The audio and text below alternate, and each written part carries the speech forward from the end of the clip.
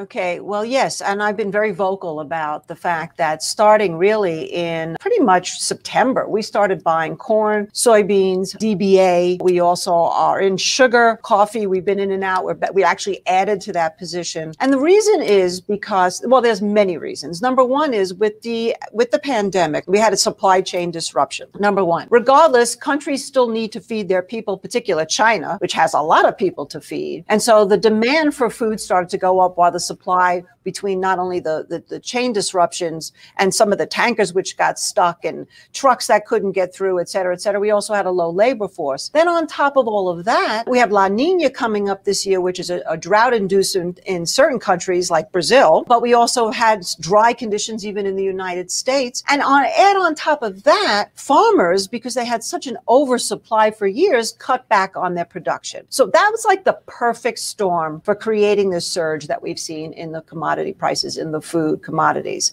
And that's really been my theory in terms of what could be the spark for inflation that goes beyond what the Fed can manage. So far, that hasn't happened, but I'm keeping an eye on it. I was going to say, why why own DBA, which is the commodities uh, ETF that actually owns the physical goods and not like uh, why go about owning DBA? Well, I liked the exposure to having all of the different grains in there, number one. But we also own the actual, like you say, we don't own moo, but we own corn, C O R N, wheat, W E A T.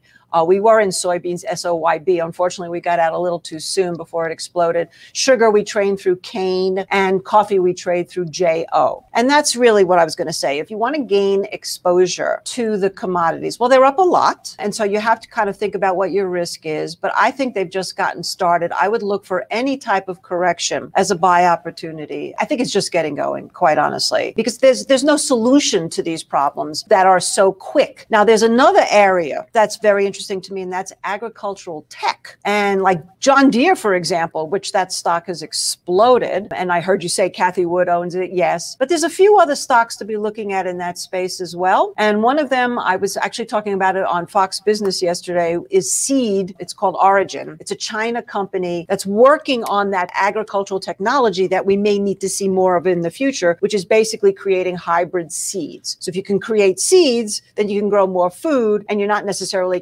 counting on outdoor farming. And I think that's going to be kind of a future here. So that's something to, to look at. So there's still a lot to do in that space. It's high up, like everything. But again, look for consolidation, correction, and you can get in.